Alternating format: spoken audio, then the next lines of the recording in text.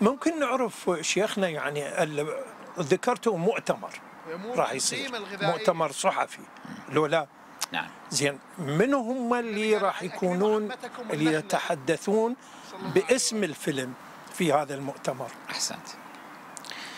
طبعا هم اللي يشتغلون في عالم صناعة ال- الأفلام والسينما العالمية. يدركون كم هذا الأمر صعب. يعني الذين يتحدثون في هذا المؤتمر مو أي ناس. بالتأكيد. لابد يكون جزء منهم أناس من الخبراء ممن لهم اشتغال بهذه الصنعة. نعم.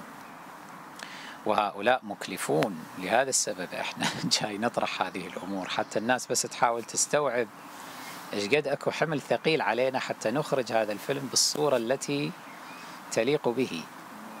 يعني, يعني إحنا لازم هنالك- نستأجر إيه نعم، ناس نستأجر خبراء ناس. بالضبط. في نعم. هذا المجال مجال المؤتمر نعم الصحفي. مو بس تستأجرهم حتى أي- أنت تتكفل بمصاريف ذهابهم ومجيئهم وتذكرتهم وإقامتهم وفندقهم ومأكلهم ومشربهم حتى يجون يحضرون في هذا المؤتمر حتى تحضر وسائل الاعلام خو وسائل الاعلام ما راح تحضر لأسماء غير معروفة. منو ذولا؟ منو ذول اللي راح يحجون؟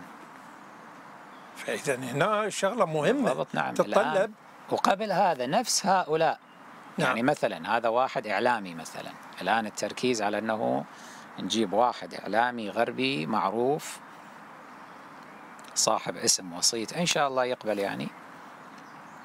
وإذا ما قبل نشوف غيره. بالنتيجة هذا هو السعي اللي موجود الآن. نعم. أنه نجيبه حتى هو يجي يتحدث ويدير هذه الجلسة.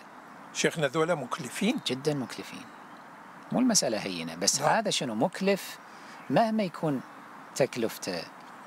هي في يسوى. صالحك يسوى. ليش؟ لأنه هو اللي راح يجيب لك.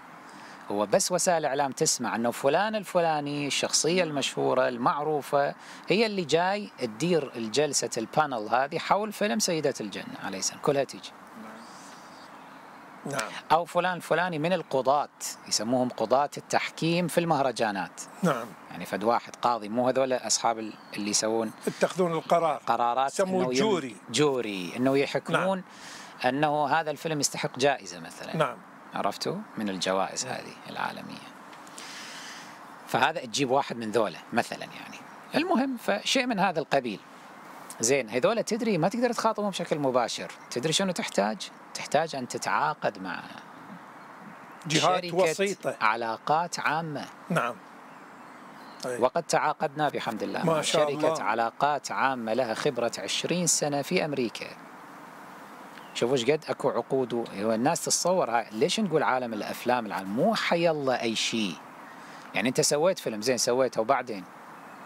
أكو متطلبات ما بعد الفيلم. وهذا شنو نقول؟ إحنا من اليوم الأول تتذكرون أنه إحنا عندنا بالضبط، صح. مراحل ومن أي. أهم المراحل. نعم. هي مرحلة ما بعد إنتاج الفيلم لأنها تتضمن شنو؟ أولا لازم تنتج لك فيلم وثائقي يوثق ما وراء كواليس هذا الفيلم. وهذا تم إنتاجه بحمد الله. الحمد لله. هذا راح ينعرض هناك راح ينعرض أنه يبين شنو وراء هذا الفيلم.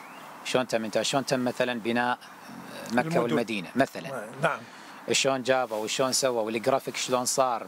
لا تنسى إنه إحنا مليونين و... ثلاث ملايين pound يعني مليونين ونص وتقريبا نص هذا هم ضرائب. ما ضرائب يصير تقريبا ثلاث ملايين. ثلاث ملايين pound فقط صرفنا على شنو؟ على ال graphic ال graphic أي نعم مكلف كان. يعني هذه ميزانية ضخمة. أي.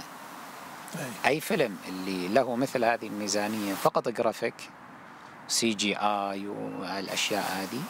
يعني شيء. هذا يعتبر يعني شيء عظيم يعني. ليش طبعا هذا؟ لأنه إحنا عندنا تدرون المعصومين عليهم السلام في الفيلم. نعم. فيعني اضطرينا إنه إحنا نخوض في هذا الميدان.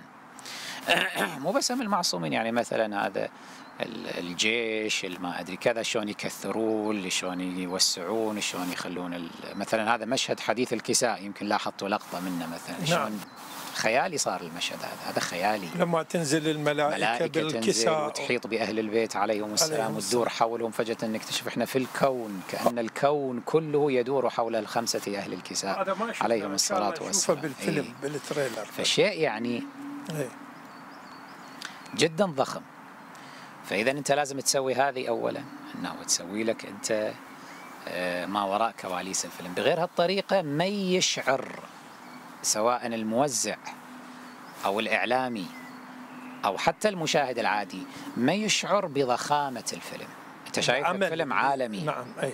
يطلع بدون ما يكون مطلعين وياه إنه شنو وراء هذا الفيلم وتم يسموه الميكينج. نعم. كيف تم صنع هذا الفيلم أي. يعني ما وراء الكواليس. هذه مرحلة جدا مهمة. زين. مرحلة ثانية هي هذه إنك أنت تيجي تتعاقد مع شركة علاقات عامة.